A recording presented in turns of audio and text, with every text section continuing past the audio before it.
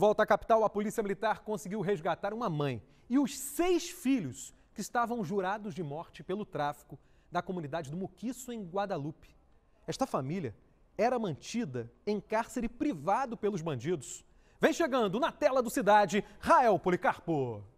As imagens gravadas pela Polícia Militar mostram o local onde a vítima estava sendo mantida em cárcere privado.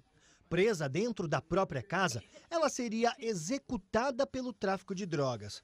Um julgamento sem direito de defesa, que terminou com a sentença de morte interrompida pela Polícia Militar. O nono batalhão recebeu informação ontem, a partir de denúncia de moradores, que uma mulher teria sido torturada por traficantes do Morro do Muquiço e mantida em cárcere privado.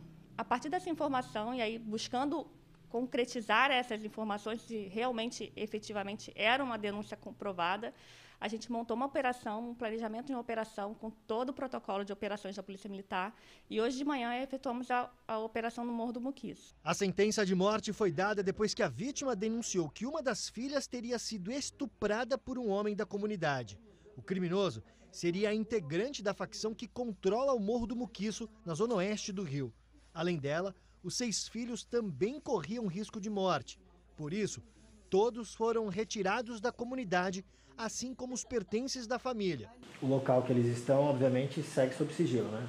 Na verdade, ela foi para o hospital porque ela está muito machucada. Os filhos estão, com, estão vendo com o conselho tutelar como é que como vai ser feita essa situação de todo o acolhimento da família. Enquanto isso, eles estão no nono batalhão. O caso agora vai ser investigado pela Polícia Civil. A PM pede que a população continue colaborando com informações que levem aos criminosos.